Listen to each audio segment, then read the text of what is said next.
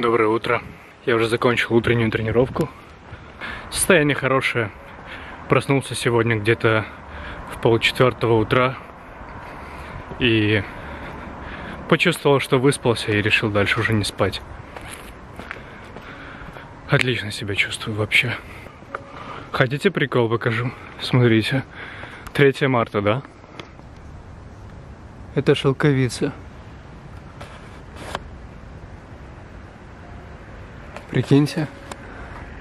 Особо даже еще нет листьев, но уже очень много ягод, которые скоро будут дозревать.